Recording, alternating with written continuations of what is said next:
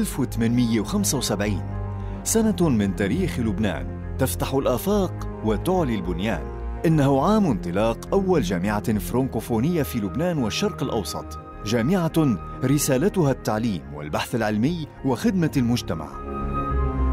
إنها جامعة القديس يوسف في بيروت.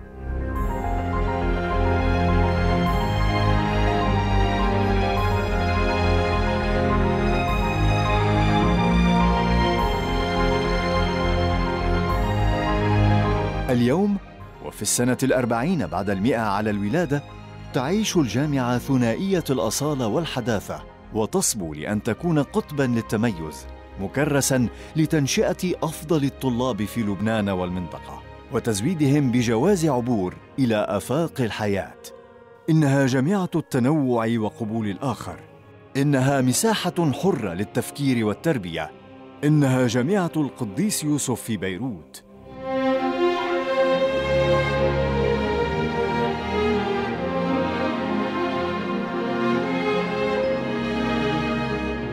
حكاية لبنان والشرق مع جامعة القديس يوسف تعود إلى العام 1875 حيث انتقلت الإكليريكية الكبرى والمعهد الثانوي اللذان أسسهما وأدارهما الآباء اليسوعيون من غزير إلى بيروت واتخذا اسم جامعة القديس يوسف.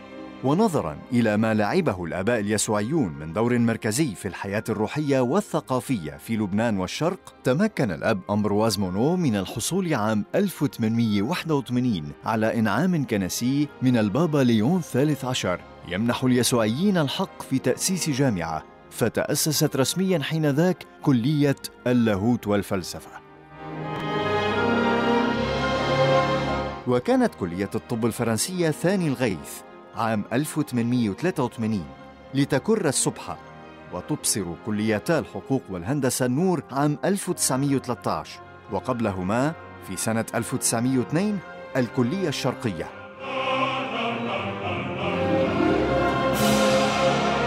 ورغم الحرب العالمية الأولى التي دمرت الجامعة وأصابتها وهجرت بعض من كان فيها استمر الآباء اليسوعيون بعد نهايتها بضخ عطائهم الروحي والتربوي للبنانيين وكانت كلية الطب تزداد توسعا وازدهارا وانتشارا.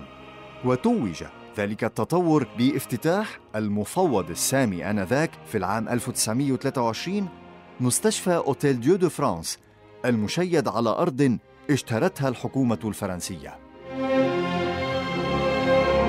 وكبرت الجامعة وتطورت.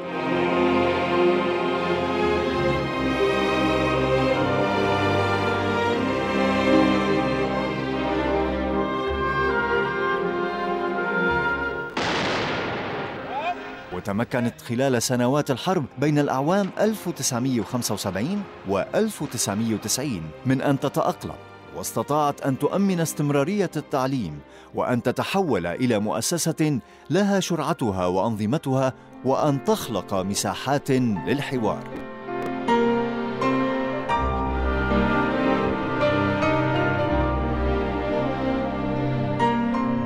اليوم بعد 140 عاما من التاريخ المشرق ومن دور الآباء اليسوعيين عبر الجامعة في ترسيخ دعائم التربية والحرية ينتسب إلى الجامعة 12 ألف طالب عبر 13 كلية و14 معهدا وخمس مدارس ويتوزعون على خمسة أحرام في بيروت العلوم الطبية العلوم الإنسانية الابتكار والرياضة العلوم الاجتماعية العلوم والتكنولوجيا. كما أنشأت الجامعة ثلاثة مراكز جامعية في طرابلس وصيدا وزحلي وهي تضع في تصرف الطلاب اللبنانيين والأجانب مساكن جامعية في بيروت. أما الاختصاصات المتنوعة للتعليم في الجامعة من العلوم الأدبية والإنسانية والدينية والاجتماعية إلى الطب والصحة والهندسة والتكنولوجيا فقد جعلت الطلاب يقبلون عليها بكثافة. خصوصا وأن الجامعة اعتمدت نظام الأرصدة الأوروبي منذ سنة 2003 ولم تكتفي جامعة القديس يوسف بالتعليم فهي إضافة إلى كونها مساحة للحوار ولتبادل الأفكار ومنبرا للحرية أولت الحياة الثقافية والفنية والتشكيلية اهتماماً بارزاً وقدمت لبيروت وللطلاب فسحات ثقافية. إلى جانب كل هذه الإشراقات الثقافية تملك الجامعة داراً للنشر. les presses de l'USJ وتضم مركزين ثقافيين الأول صيني والثاني ياباني والمكتبة الشرقية التراثية.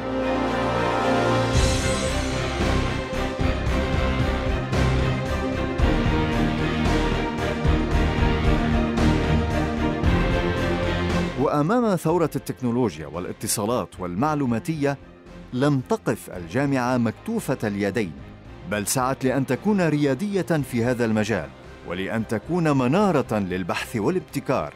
وجهزت حاضنه مشاريع هي باريتاك وقطبا تكنولوجيا للصحة.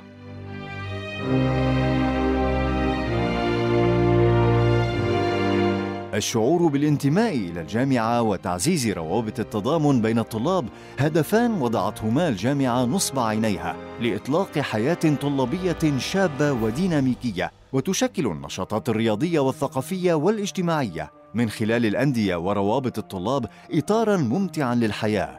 يؤمن الانصهار والتضامن والإلفة.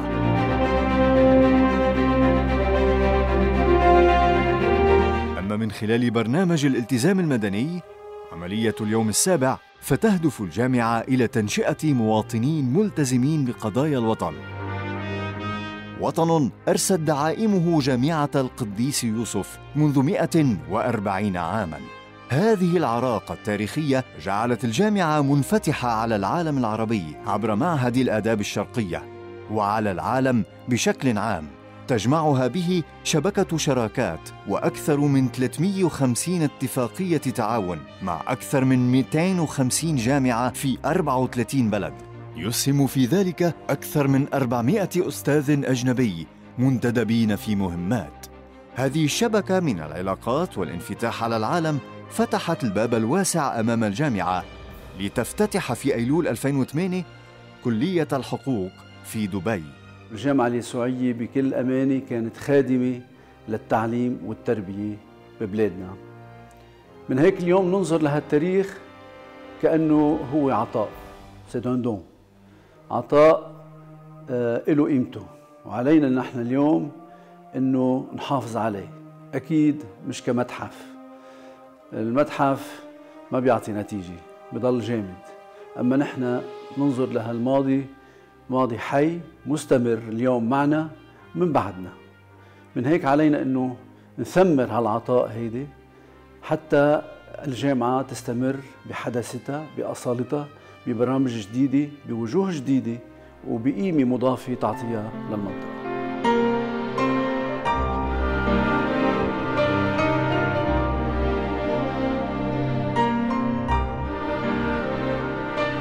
اليوم بعد 140 عاما بين الأصالة والحداثة تتابع جامعة القديس يوسف ريادتها لتكتب صفحات مشرقة من تاريخ لبنان الحديث لأجله ولأجل عالم حر. تنتمي إليه وتعمل له. جامعة القديس يوسف في بيروت 140 عاما في خدمة اللبنانيين. 140 عاما من الإشعاع الإقليمي والعالمي. مئة وأربعون عاماً بنينا التاريخ واليوم معاً نبني المستقبل.